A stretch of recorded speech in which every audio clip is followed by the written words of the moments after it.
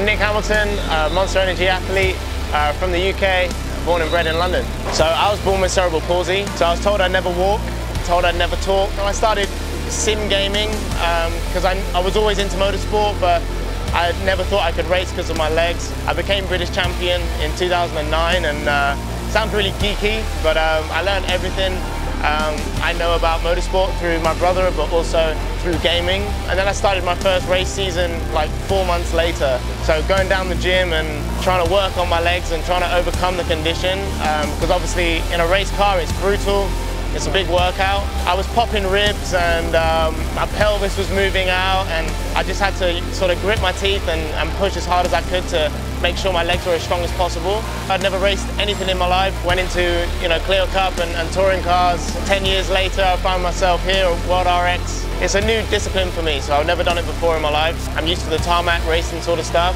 But obviously here now, driving the Can-Am is a different car to anything that I've driven before. Four-wheel drive, and I'm used to like front-wheel drive touring car. So obviously getting on the dirt and controlling the car and, and sliding and stuff. When you do touring cars, if you're sliding, then it's, it's definitely going wrong. Coming into something like this weekend, the car isn't modified for me. It's very generic, where all my racing cars are modified and my seat is molded to me and it's you know just how I like it.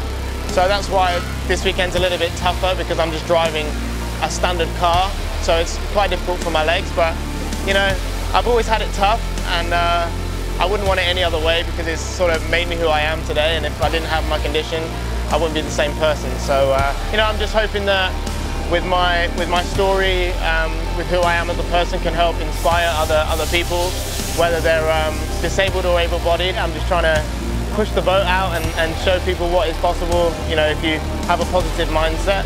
I'm proud of what I've done so far and uh, still got quite a lot to do as well.